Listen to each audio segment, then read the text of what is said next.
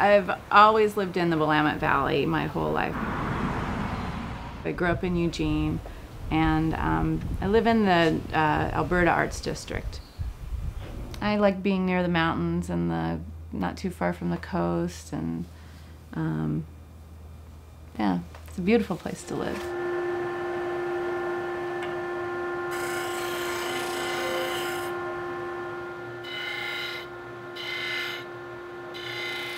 I try to work faster than I can think so that forms come, you know, in a more intuitive way.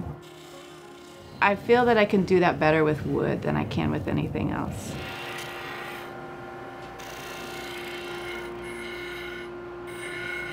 I'm working on my third book, Alphabird, which is an alphabet book that features uh, all wood birds that I've made.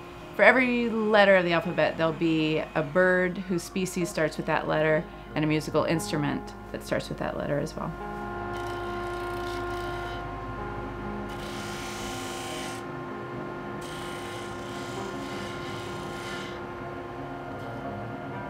I grew up in a family who appreciated handmade and craft, and so it's always been part of my life.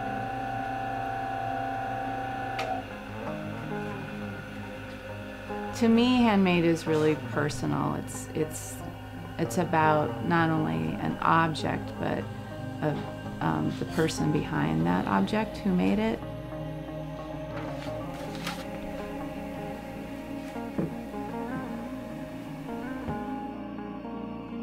I think the recent resurgence in uh, handmade and craft has everything to do with the internet.